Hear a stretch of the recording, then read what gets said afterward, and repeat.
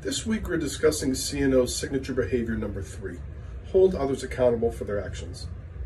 As leaders, we must remember the important distinction between responsibility and accountability.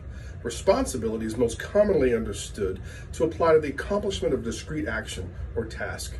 Both junior and senior team members can and are often responsible for any number of work-related items. Accountability, on the other hand, and in this context, applies after the fact and refers to a leader's duty to provide feedback and direct communication as to the level of success observed in the performance of the duties that someone is responsible for. When accountability is thought about in this way, we can see that holding others accountable for their actions involves a proactive leader who can provide meaningful and constructive feedback as well as follow on guidance and commander's intent. And so, once again, we can see the central theme of effective communications as the foundation for successful leadership. Lead well this week.